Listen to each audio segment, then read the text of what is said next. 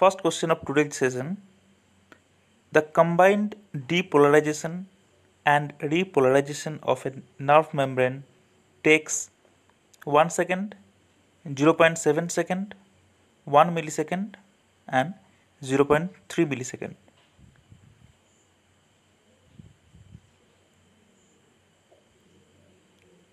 Answer is c 1 millisecond depolarization takes 0.3 millisecond and repolarization takes 0.7 millisecond.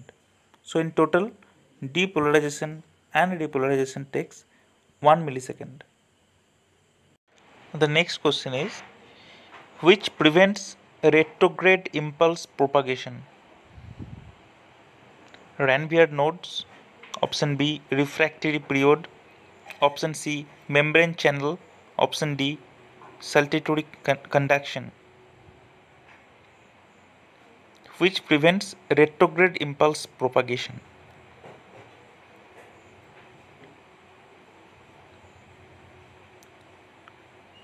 Answer is option B refractory period.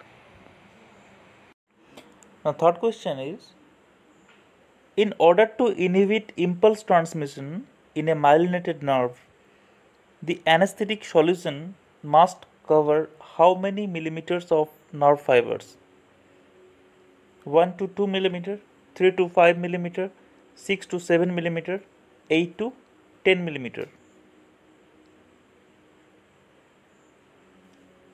In order to inhibit impulse transmission in a myelinated nerve the anesthetic solution must cover how many millimeters of nerve fiber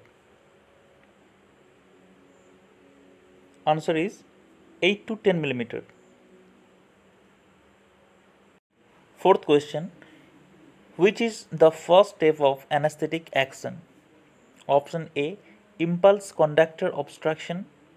Option B Reduced rate of electrical depolarization. Option C Displacement of calcium ions from the sodium channel. Option D Attachment of the local anesthetic molecule to sodium channel receptor sites.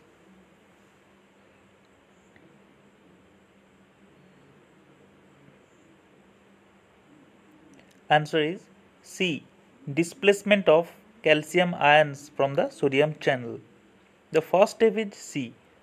Displacement of calcium ions from the sodium channel. Second, attachment of the local anesthetic molecule to sodium channel receptor sites. Third will be reduced rate of electrical depolarization. And lastly, impulse conduction obstruction. So the first step is option C, displacement of calcium channel, calcium ions from the sodium channel. The last four question was from Malamed's first chapter that is neurophysiology. This question is from Malamed's second chapter pharmacology of local anesthetics.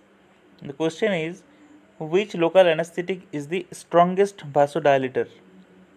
Option A procaine, option B prilocaine, Option C lidocaine, C mepivacaine.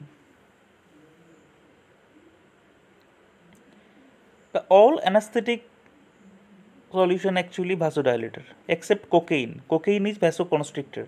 Rest all are vasodilator. But the strongest one is option A procaine. Procaine is most potent vasodilator among local anesthetics that is sometimes used injected clinically to induce vasodilation when peripheral blood flow has been compromised that that may be because of a different reason like accidental intraarterial injection of a drug or injection of epinephrine or, norepinephrine, or norepinephrine into fingertip or toe. So the strongest vasodilator is procaine. Sixth question. The primary clinical manifestation of local anesthetic overdose is syncope, convulsion, tachycardia, hallucination. Primary clinical manifestation of local anesthetic overdose. Answer is convulsion. Generalized tonic clonic convulsion. So answer is option b. These two question is very interesting. Uh, question number 7th and 8th when carbon dioxide levels in the bloodstream increase the duration of an anesthetic related seizure is decreased. Option B when carbon dioxide levels in the bloodstream decrease, the duration of an anesthetic related seizure is increased.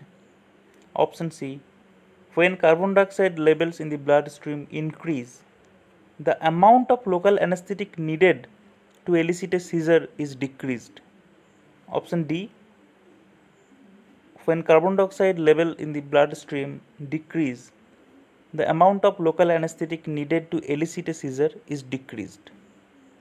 Read carefully all the options. This is very important MCQ also.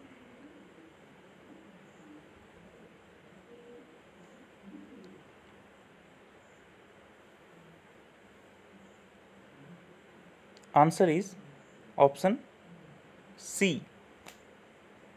That means when carbon dioxide level increase, less amount of local anesthetic needed for seizure activity. That means local anesthetic toxicity will be more in small amount of dose. So answer is C. Now eighth question which sequence follow high local anesthetic blood levels?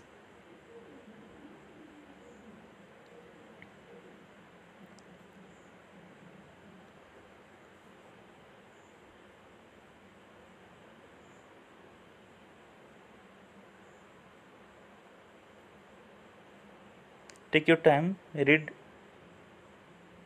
last question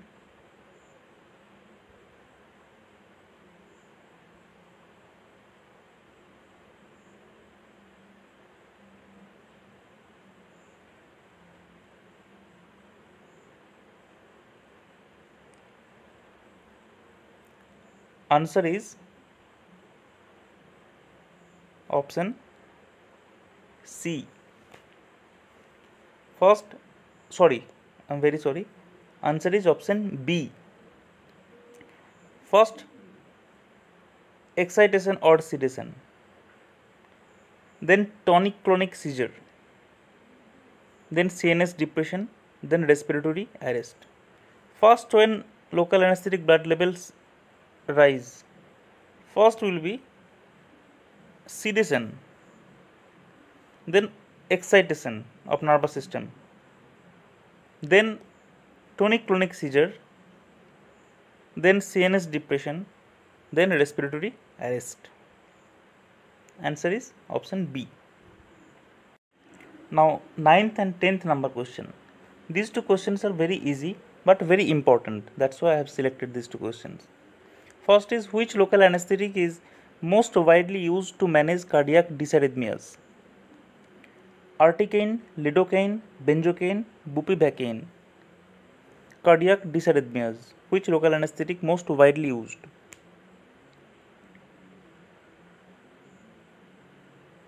it's option B lidocaine और tenth number question vasoconstriction is a characteristic of which drug cocaine procaine etidocaine mepivacaine I have just discussed in earlier question Vasoconstriction is a characteristic of which drug?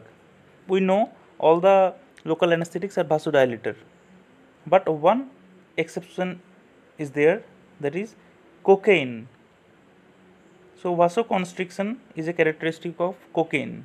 These two questions are very important. Lidocaine is used to manage cardiac dysarrhythmias. And second, cocaine is a vasoconstrictor. These two questions will be today's last two questions, 11th and 12th. When succinylcholine is present in the system, ester local anesthetics elicit which reaction? Prolonged apnea, option B unexpected acute tachycardia, option C accelerated metabolism of the local anesthetic, and option D amplified CNS depression.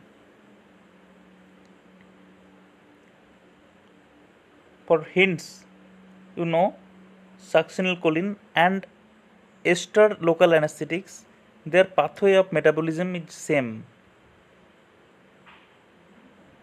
So there will be prolonged apnea. Option A. Last question. The predominant factor in occurring malignant hyperthermia is genetics. It's a very easy question actually. And uh, why I put this question because the ester local anesthetics, one of the rare uh, side effect you can say or adverse reaction is malignant hyperthermia. So ester local anesthetics may be a reason for local uh, malignant hyperthermia also and the predominant factor for this is genetics. Thank you very much. We'll see in next video.